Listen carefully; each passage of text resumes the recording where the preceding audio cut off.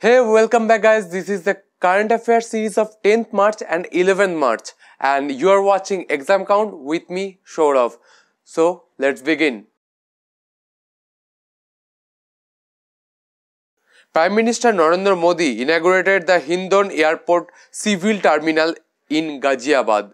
The Appointments Committee of the Cabinet has approved designating Sri Subhash Chandra Garg IAS Secretary Department of Economic Affairs Ministry of Finance as Finance Secretary. A 116-year-old Japanese woman has been honored as the world oldest living person in Guinness Book of World Records. The Center of the Asian Development Bank has signed a $26 million loan agreement to provide additional financing for improving drainage infrastructure in Dhirubad town of Assam. Distinguished scientist Ajit Kumar Mohanty was appointed director of Bhabha Atomic Research Center, the country's premier multi-dispensary nuclear research facility. Commander US Special Operation Command of army General Raymond Thomas who is on an official visit to India called on army chief General Bipin Rawat thirty six countries have signed an open letter criticizing Saudi Arabia's human rights records. Star rating program launched for microwave ovens and washing machine expected to save over 3.0 billion units by 2030. The third edition of the bilateral joint exercise Al Nagah 2019 is scheduled to be held between India and Oman from 12 to 25 March at Jebel.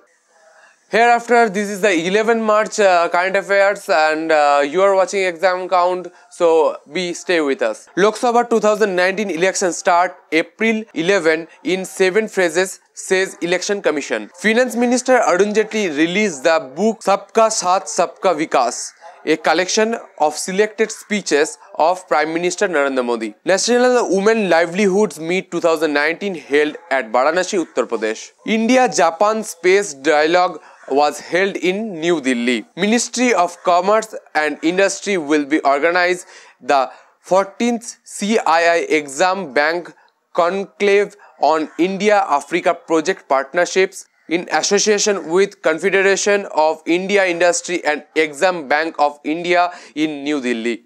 Central Industrial Security Force CISF celebrated the 50th Rising Day on 10th March. Muhammad Shtayyeh was being named as Palestinian Prime Minister by President of Palestinian Authority Mahmoud Abbas. National Crime Records Bureau will celebrate its 34th inception day on March 11, 2019.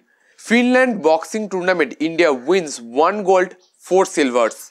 The Ministry of Tourism, Government of India has won the first prize in the category of TV cinema sport at the prestigious International Golden City Gate Tourism Awards 2019. So that's it guys. Uh, this is the 10th and 11th March current affairs series and uh, you are watching exam count. So what do you feel about this video? Please comment us for uh, any suggestion or any uh, query and please uh, hit the like button if you like the video. Please press the subscribe button to subscribe our channel and the press the bell icon also to get notified every current affairs and job notification update.